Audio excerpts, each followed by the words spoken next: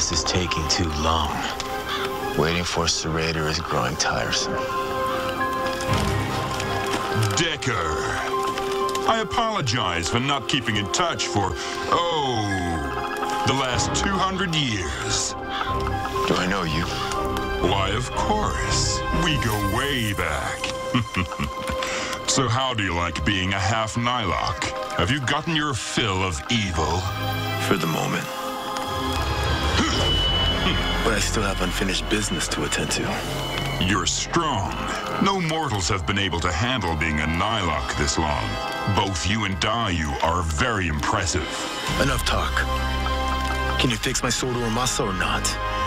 Well, I created it, and I was the one that gave it to you. You act as if I knew that. Stay calm, Deker. I can fix your sword and Dayu's harmonium. But first, you must both do something for me. I would do anything to have this restored to me. I will mend it. In the meantime, take this dagger, which has special magic. If you indeed did create it, then you have shown me a cursed existence. So what will you show me next? Take pride in knowing you shall soon play a huge part in mankind's destruction. Ah, you have made a good choice.